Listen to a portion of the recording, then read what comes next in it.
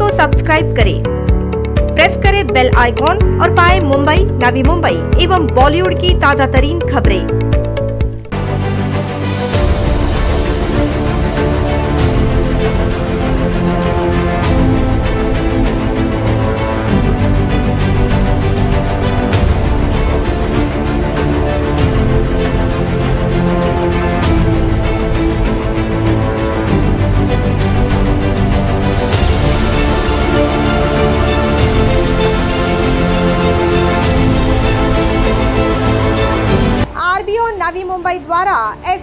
कर्मचारियों के लिए भव्य वैक्सीनेशन कैंप का आयोजन सीबीडी बेलापुर में किया गया था।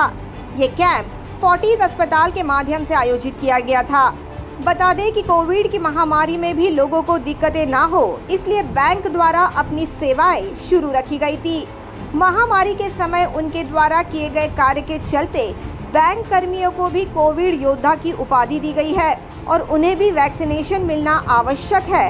इसी बात को ध्यान में रखते हुए इस कैंप का आयोजन किया गया था, जिसका उद्घाटन एसबीआई के डीजीएम ठाणे जोन के अतुल राठी के हाथों संपन्न हुआ, जहाँ पर उनके साथ आरबीओ के आरएम कपिल गर्ग भी मौजूद थे।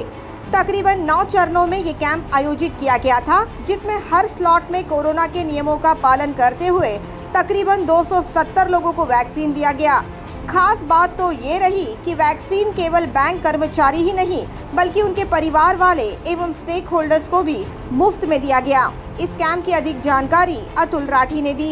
ये एक बहुत बड़ा इनिशिएटिव बहुत अच्छा इनिशिएटिव लिया गया है हमारे R B O three Sanpada के द्वारा, जिसमें हमने फोर्टिस हॉस्पिटल वाशी के साथ टाई अप करके अपने एम्प्लॉयज़ और अपने स्टेक होल्डर्स को भी, न न केवल हमारे एम्प्लॉयज़ बल्कि हमारे स्टेक होल्डर्स हमारे वेंडर्स जिनको ये बाहर मिल पाना थोड़ा मुश्किल हो रहा था हमने एक स्पेशल अरेंजमेंट के थ्रू यहाँ पे एक कैंप लगा के सारे कोविड प्रोटोकॉल्स को फॉलो करते हुए हमने ये कैंप लगाया है।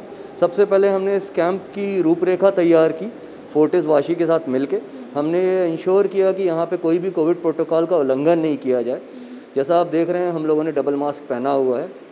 So Covid protocol is something which we have always ensured that all our staff members to ensure आगे उन्होंने ये भी कहा कि इस वैक्सीनेशन ड्राइव के माध्यम से उन्होंने अपने कर्मचारियों को निडरता प्रदान करने की कोशिश की है। जब से ये महामारी आई है, तब से बैंकों ने कभी भी अपना काम करना बंद नहीं किया।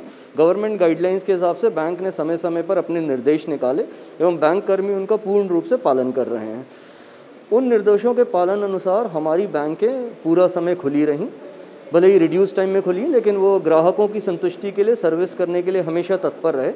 एवं उसके लिए बहुत ज़रूरी है कि हमारे सारे फ्रंटलाइन वर्कर जिनको हम कोविड वॉरियर्स भी बोलते हैं, उनका सबका वैक्सीनेशन हो जाए, जिससे कि यदि कभी भी कोई समस्या हो तो उस समस्या का इम्पैक्ट कम हो जाए। वैक्सीनेशन का एक सबसे बड़ा बेनिफिट यह है।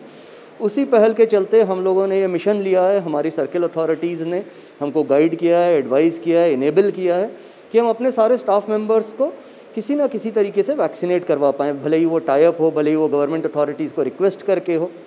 और हमारे यहाँ जितने भी स्टाफ हैं 18 प्लस हम लोग कोशिश कर रहे हैं कि उनका वैक्सीनेशन हो जाए।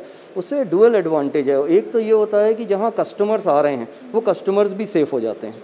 क्योंकि हमारा कस्टमर्स के साथ लेन देन और आदान प्रदान ख़त्म नहीं हुआ है। हमने वो सर्विसेज़ चालू रखी हैं। तो उन कस्टमर्स की सेफ्टी के लिए भी ज़रूरी है कि हमारे साफ़, सारे स्टाफ मेंबर्स को वैक्सीनेट करें। एवं दूसरा एक बेनिफिट ये है कि जब हमारे स्टाफ मेंबर्स ब्रांच के अंदर आते हैं तो वो निडर होकर काम करते हैं तो उससे उनकी एफिशिएंसी बढ़ती है। अदरवाइज़ हमेशा हर आदमी को डर लगता है, हम इतनी चीज़ों को हाथ लगा रहे हैं, हम इतने कस्टमर से मिल रहे हैं। हमारे साथ कुछ हो सकता है। तो वो निडरता हमने उनको इस वैक्सीनेशन कैंप के द्वारा प्रदान किया हम ऐसे इनिशिएटिव्स को और आगे भी करते रहेंगे, हमारे और प्लान्स हैं। वैक्सीनेशन मुझे लगता है गवर्नमेंट के सपोर्ट से। वैक्सीनेशन जो है अब धीरे धीरे वैक्सीनेशन की कमी दूर होती जाएगी और ये सिचुएशन ईज आउट होती जाएगी। अतुल राठी ने ये भी कहा कि कोविड के नियमों का पूरा पालन करते हुए कर्मचारी, उनके परिवार के सदस्य एवं स्टेक होल्डर्स को यहाँ पर मुफ़्त वैक्सीन दी गई है। आज हम लोगों ने, क्योंकि आज मैंने आपको बताया हमें कोविड प्रोटोकॉल्स को फॉलो करना है तो हमने इसके लिए रूपरेखा बनाई और हमने यहाँ पे एक इंफ्रास्ट्रक्चर क्रिएट किया जिसमें हमने SMS protocol safe distancing social distancing को इंश्योर किया।